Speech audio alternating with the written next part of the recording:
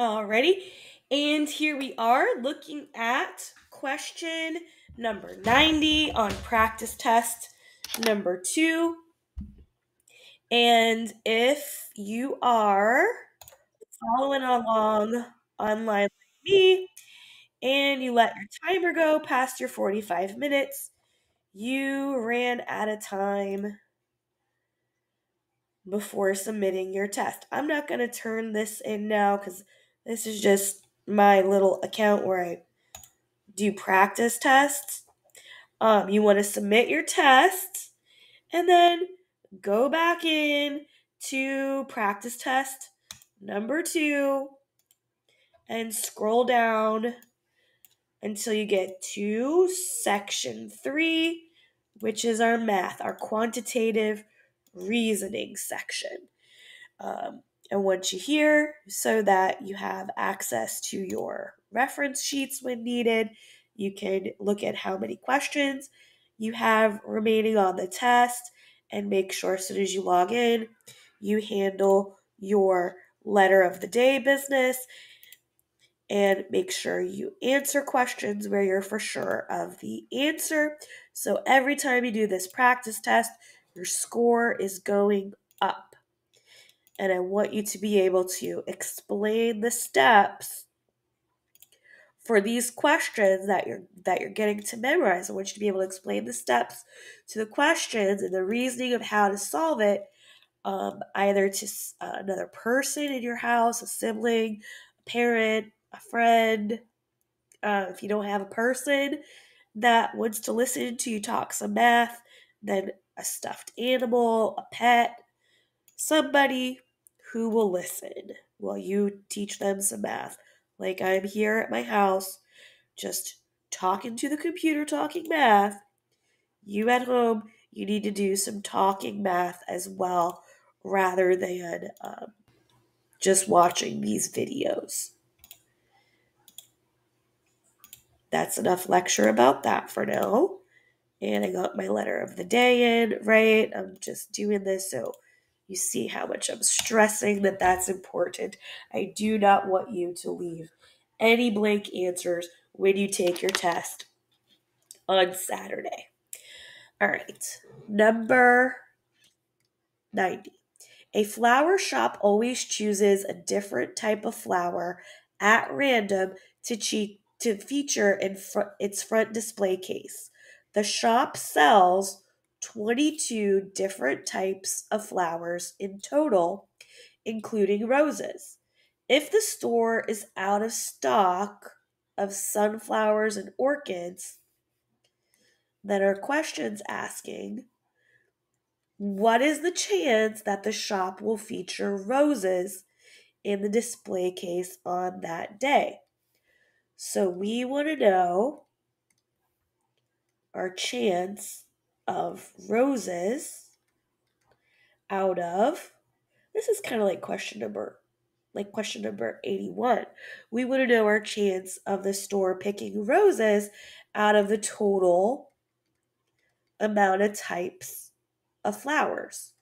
So roses is only one type of flower and the shop sells 22 different types of flowers but it's out of stock of sunflowers and orchids. So that's two types of flowers that's out of stock. Excuse me. So, our 22 minus 2 for our denominator, we got 1 out of 20 types of flowers.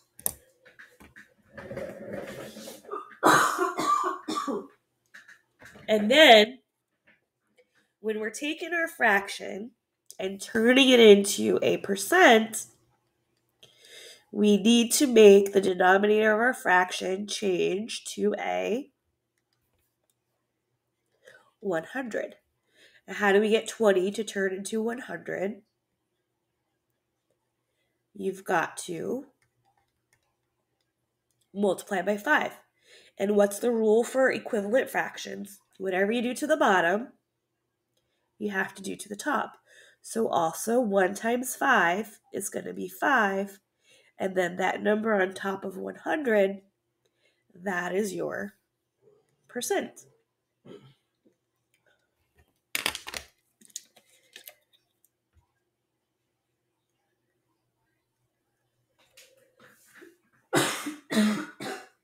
and now number 91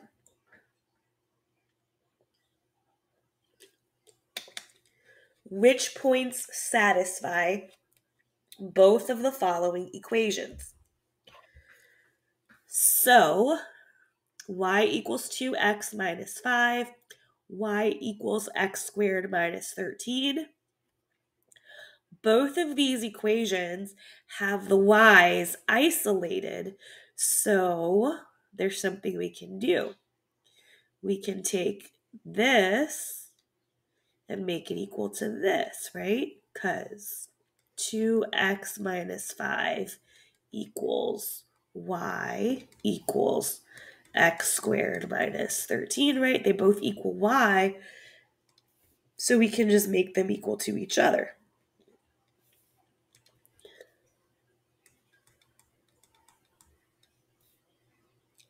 And now we can solve for x.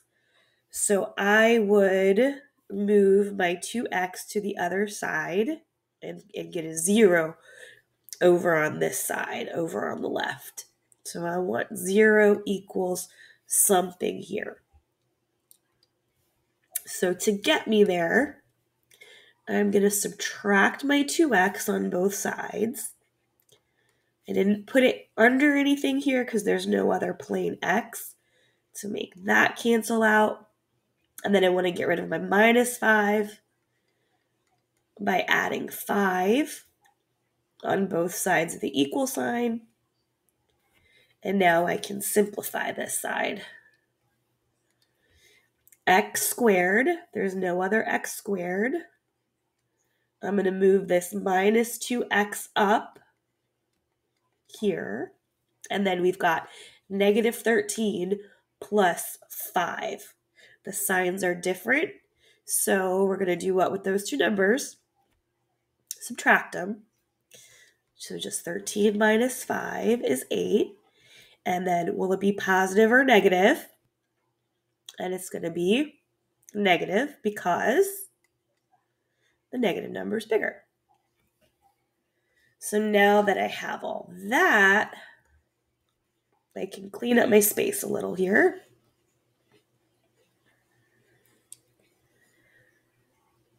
And just focus on this. 0 equals x squared minus 2x minus 8. So I need to say, okay, how can I factor this to two binomials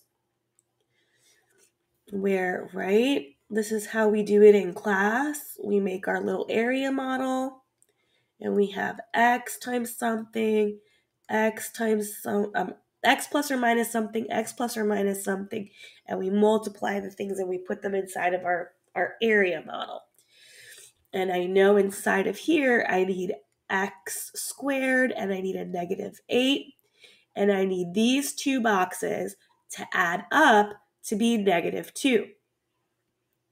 So in order for me to multiply two numbers and get a negative, I need one number to be a negative and the other one to be a positive. So out of my answer choices, since we're solving for x, right, I need to look at the answer choices where we got a positive and a negative for x. And these don't have a negative for the x, so those are both out. So my numbers are either going to be negative 4 or positive 4, and 2 or negative 2.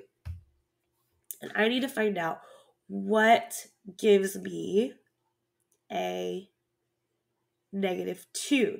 That would be if my negative was bigger. So negative 4 times positive 2 gives me x times negative 4, negative 4x, x times 2, 2x, x squared minus 2x minus 8. So this is correct. x minus 4 and x plus 2 equals 0. Now I'm cleaning up my workspace again.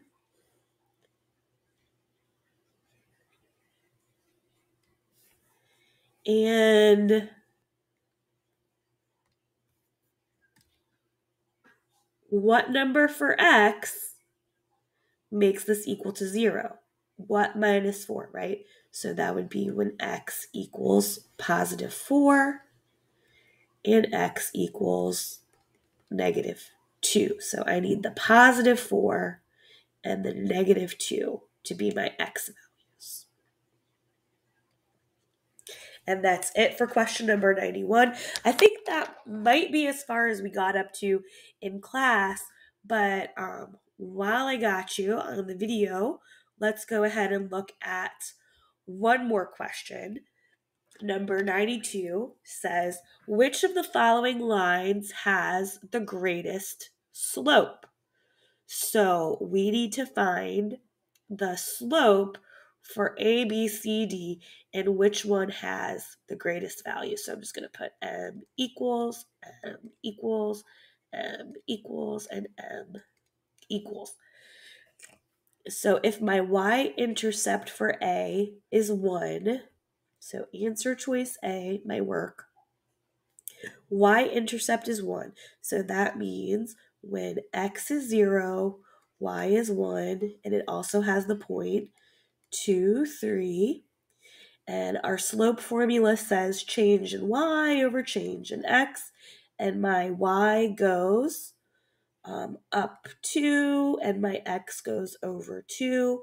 So my slope is 1, not a very big slope. And then answer choice B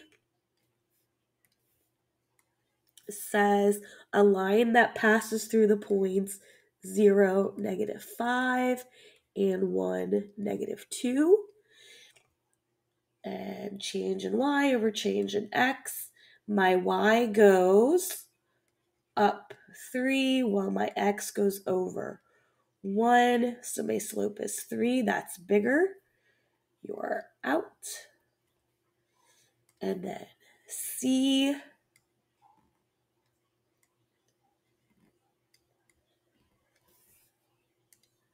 says a line with an x-intercept of negative 1.